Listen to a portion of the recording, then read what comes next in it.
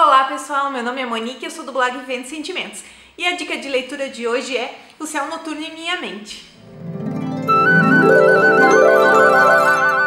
Esse é um livro do selo Galera Júnior, então é um texto leve, não é um texto muito pesado, uma história muito pesada, mas que encanta em cada linha, em cada parágrafo, porque é uma história muito bonita. Não pela história em si, mas ela traz muitos ensinamentos e é como se tivesse uma coisa por trás da história.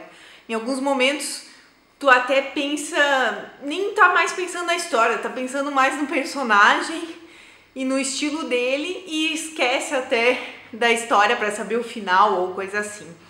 De tão cativante que é o personagem principal.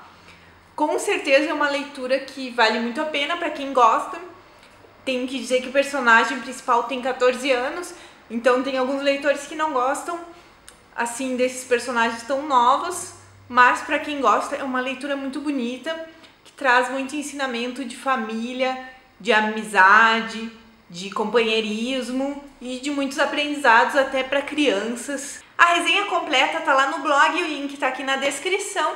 Espero que vocês tenham gostado da dica. Me falem se vocês já leram ou se querem ler, se tá na lista de vocês de leitura. E até a próxima dica. Tchau!